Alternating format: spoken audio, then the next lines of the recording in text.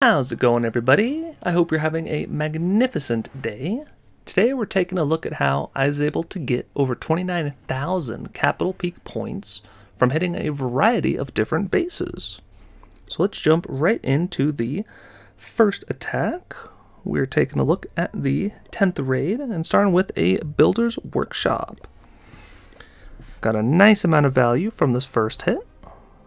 And as you can see, the majority of the defenses are on this left-hand side of base.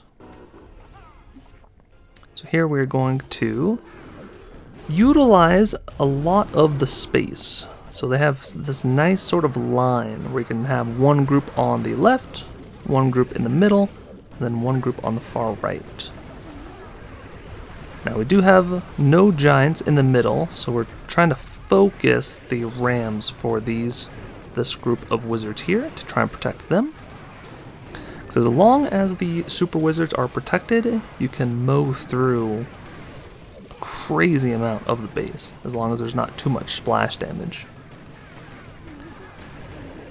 So here we almost have the blast bow taken out.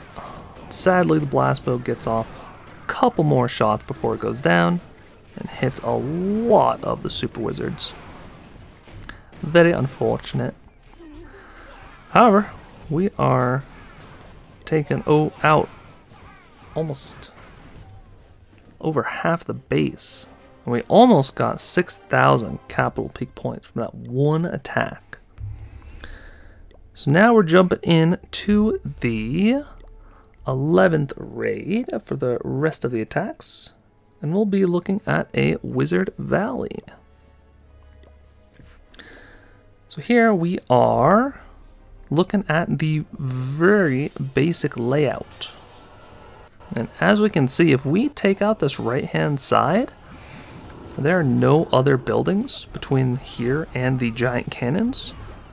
So that's why there are two packs of rocket balloons in the army, so that as the troops destroy this section of the base and cross the bridge down here, we can send in those balloons and take out two of the giant cannons, which will give us a lot more points. So here we're just trying to make sure that if any of these super wizards get out in front, we're going to try and drop a ram and distract defenses. Right there, that one wizard almost got killed by that spear thrower. And then right now that cannon is did actually take out one of the super wizards. And then sadly, it was a little bit too late with the ram, so that one other spear thrower would get the super wizard.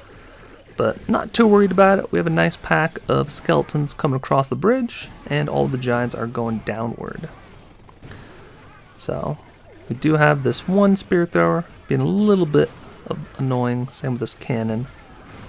But we also had dropped down the two rocket balloons on the air defense and so it took out the giant cannon, and then it got the spear thrower, as well as the other giant cannon.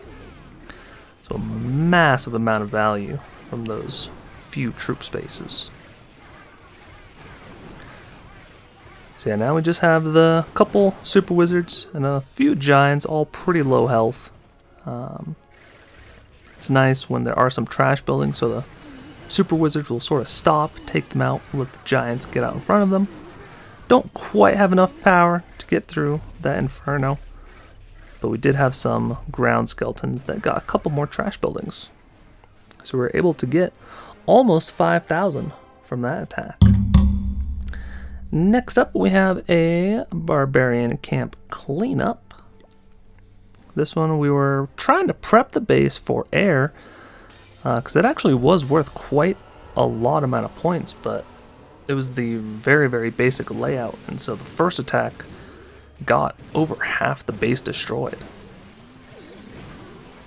So had we ended the first attack earlier, when we could have technically put a couple more thousand points on this account, but I don't really like to end attacks early just to sort of fake getting a super high amount of points.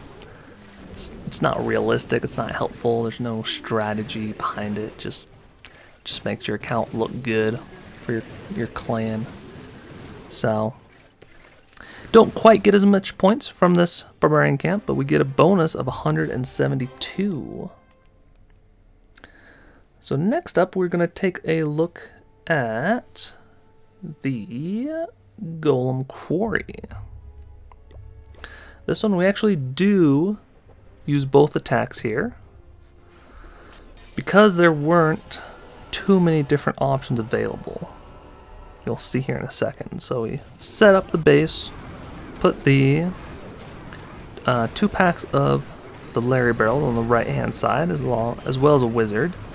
We have the one Graveyard in between these two splash defenses to distract them. And then we have the two other graveyards up high to try and take out the blast bow and the multi-mortar. Doesn't quite work out this time, so this right hand side is going to die out, but we still have a good amount in the core of the base to pick up some more value.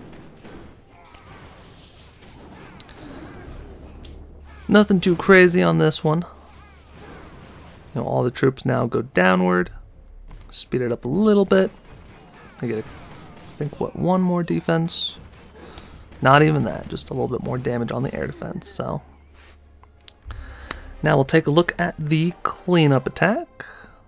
I always like to use the Flying Fortress if I can. Zap down this quadrant of spear throwers and the Rapid Rocket. You do the uh, minion trick as well as the two pack of rocket balloons.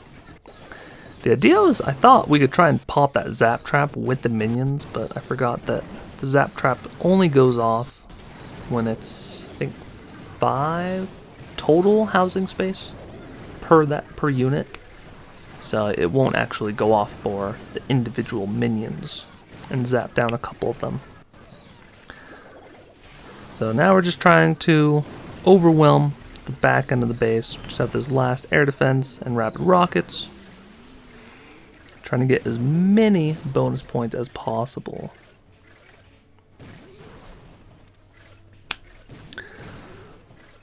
We were able to walk away with a bonus 173 bonus points. Now last, but certainly not least, is the Skeleton Park. This time we're going in with the graveyard version of the fortress. I like using the Fortress because the Fortress does very well versus the Reflectors over here. Same with the Rocket Balloons. And has a lot of health so it can tank the air bombs and the minion hut if it ever gets close to it. It's always good to bring one spare troop to take out that building and this building over there if possible because that'll open up the deployment so you can get closer to the air bombs. If you forget about it, then you are stuck deploying from the original spot in the base. It's kind of unfortunate. So here we are, being very patient, waiting for the Flying Fortress to get closer and closer. We have a bunch of air skeletons that actually take out the minion hut, which is perfect. So our Flying Fortress has a very nice amount of HP left. The reason why we're waiting on the balloons is because I know for a fact there is a Tesla next to this hut over here. So we're waiting to get over 50% of the base destroyed, so that Tesla pops. And then if we destroy that Tesla very quickly, with the help of these air skeletons to distract the first hit, then we can take out this air defense very quickly, and then there is no thing to protect from balloons besides that rapid rockets, which we'll take care of at a later time. So we send in the other pack, the last pack of rocket balloons, take out the air defense, and then take out the wizard tower. We even got lucky and had a few air skeletons left. They take out that trash building, as well as this trash building. Eventually, this one as well. The second minion hut does lock onto the flying fortress. There's not really anything we can do about it. Um, technically, you could bring in a ram, open up this wall, and then you could directly target it with some balloons. But pretty much any kind of air attack will die out to this air bombs on the back end. So I'd rather just keep it simple try and get the uh, the pretty easy 5,000 points, and then see how much extra we can get. And that is all we are able to achieve. Got 5,570. So that's how I was able to get 29,000 from a variety of different bases. I hope this video was helpful for you. And as always, if you want to support me, you can like and subscribe. And there'll be a couple more videos on the screen if you want to keep watching some of my content. Until next time, take care.